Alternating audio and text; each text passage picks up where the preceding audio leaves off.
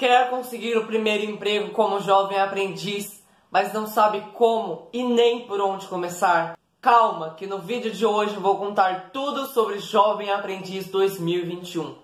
Se for novo no canal, seja muito bem-vindo, já se inscreva, já deixe seu like, compartilhe esse vídeo com seus amigos e chame ele para trabalhar junto com você. Se vocês gostarem desse tipo de vídeo, eu posso trazer mais conteúdos assim. Então, assim que você assistir esse vídeo, comente o que achou. Começar, quem pode ser um jovem aprendiz 2021?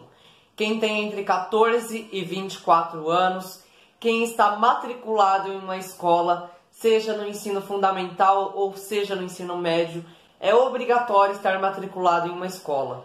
Se você já terminou o ensino médio, você precisa estar matriculado em um curso técnico. Quem não pode ser jovem aprendiz? Quem abandonou os estudos e quem já teve o primeiro emprego com carteira assinada. O jovem aprendiz abre oportunidades para quem nunca trabalhou.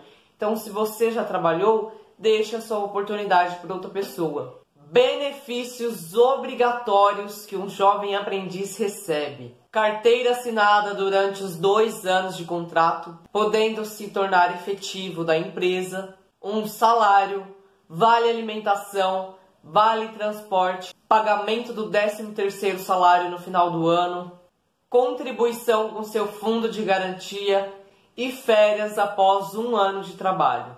Agora eu vou falar sobre o salário de um jovem aprendiz baseado nas horas trabalhadas.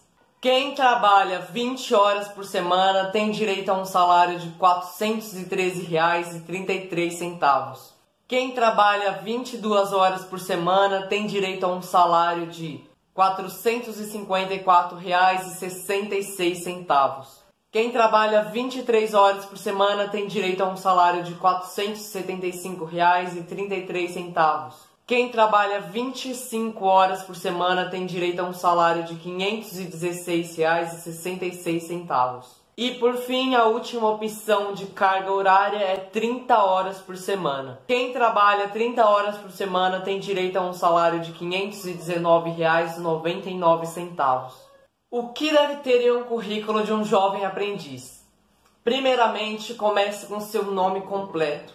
Depois, coloque sua data de nascimento, o endereço de onde você mora e o seu e-mail para contato pelo amor de Deus, cria um e-mail profissional. Não coloque um e-mail Rafa, bonito, 1, 2, 3, 4.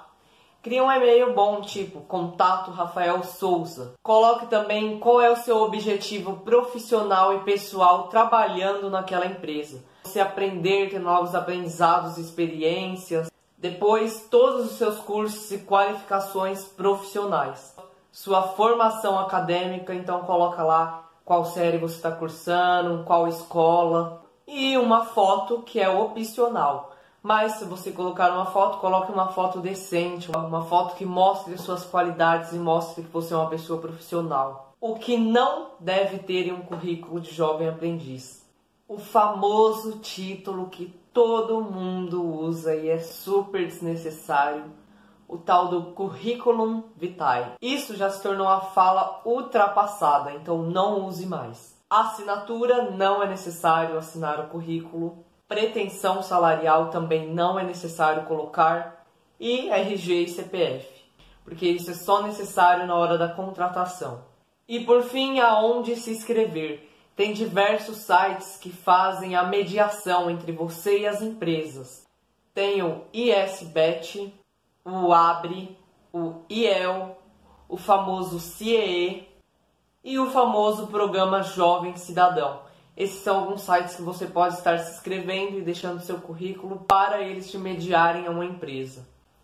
Espero que esse vídeo possa ter te ajudado, que você consiga o tão sonhado primeiro emprego. Se gostou, deixe seu like, se inscreva no canal, compartilhe esse vídeo com seus amigos e chame ele para trabalhar junto com vocês. Até o próximo vídeo.